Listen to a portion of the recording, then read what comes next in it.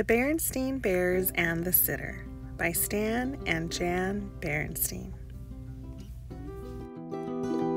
Mom and Dad are going out. Gramps and Gran are too. Who will stay home with the cubs? Just anyone won't do. What's this? said Papa Bear as he took the day's mail from the Bear family's mailbox. It was a notice telling them about an important meeting that night at the Bear Country Town Hall.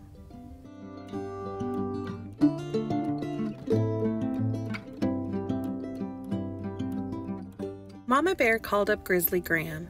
Brother and Sister Bear sometimes stayed with the Gramps and Gran when Mama and Papa Bear had to be away.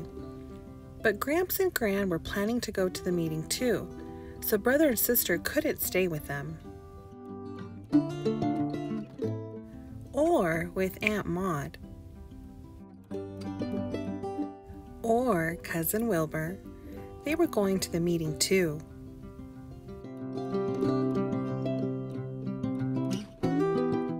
Why can't we go with you? asked Sister, beginning to get a little upset. Yeah, added Brother Bear. Because, said Papa, this meeting is for grown ups. And besides, it won't be over until late, way past your bedtime. Well, where are we going to stay? The cubs wanted to know. You're going to stay right here, said Mama, as she put down the phone. Alone? Asked Sister. Of course not, said Mama. I have arranged for a sitter. A sitter, said Brother. Who is it going to be? Sister asked. Mrs. Grizzle, who lives in the hollow stump at the end of the road, said Mamma, feeling much better about the whole thing. Mrs. Grizzle, said the cubs, not feeling better at all.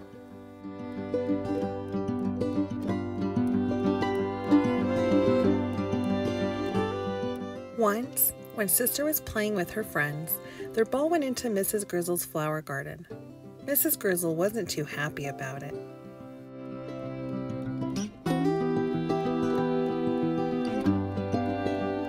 And another time, when Brother was flying his kite, it swooped and bumped Mrs. Grizzle on the hat. She wasn't too tickled about that either.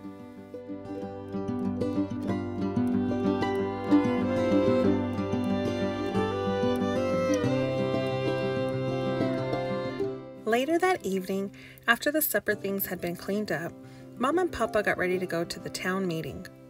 But who's going to scrub our backs, read us a story, and tuck us in? asked Sister, still a little nervous about the idea of a sitter. I understand that Mrs. Grizzle has raised seven cubs of her own, said Mamma, putting on her hat, and I'm sure she's perfectly good back scrubber, story reader, and tucker inner. But she's not going to scrub my back, Brother Bear said under his breath.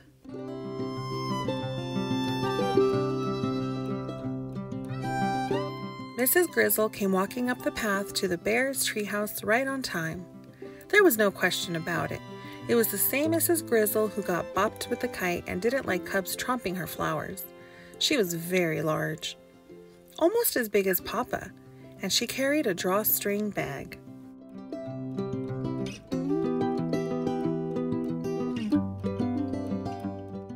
Evening all, said Mrs. Grizzle in a loud, jolly voice. Well, time's a wasting, you two, she said to Mamma and Papa. You better skedaddle off to your meeting. Mrs. Grizzle had a strong way of saying things, and folks usually did what she said. Mom and Papa kissed the cubs goodnight and skedaddled.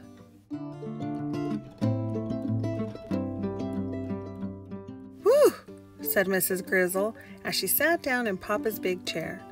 It sure is good to get a load off your feet. She took off her hat and looked into her drawstring bag. There's something about looking into a bag that makes cubs very curious. Mrs. Grizzle, said Sister. Yes? What's in the bag? Nothing much. Just some things I take along when I go sitting. A piece of string, a pack of cards. Meanwhile, over at the town hall, the bears were getting ready for their important meeting.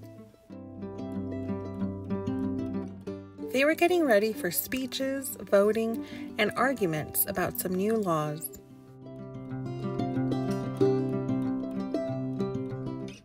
But Mama's mind was not on the meeting, neither was Papa's. Mama and Papa Bear were thinking about what was going on back home.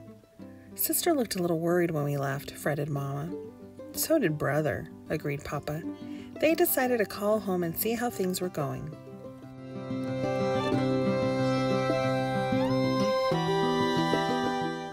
Things are going just fine, said Mrs. Grizzle.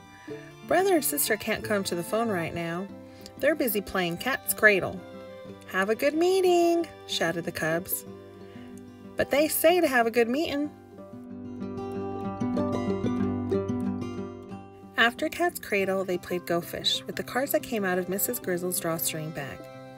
Then they played Tiddlywinks with a special set of winks that Mrs. Grizzle had made out of polished stones and a snail shell cup. After a while, the cubs got the yawns, and Mrs. Grizzle began getting them ready for bed.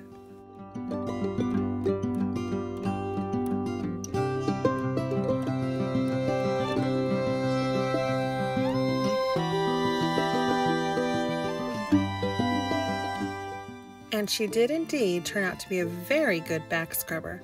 Brother changed his mind about not having his back scrubbed. And she was a fine story reader. And a really super tucker inner.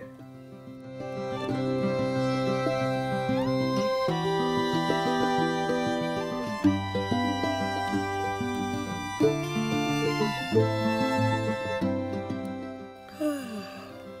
hope Mama and Papa had a good meeting, said Sister with a yawn, because we had a very good sit. The Cubs had a number of different sitters from time to time, but Mrs. Grizzle was their favorite, and they were always glad to see her.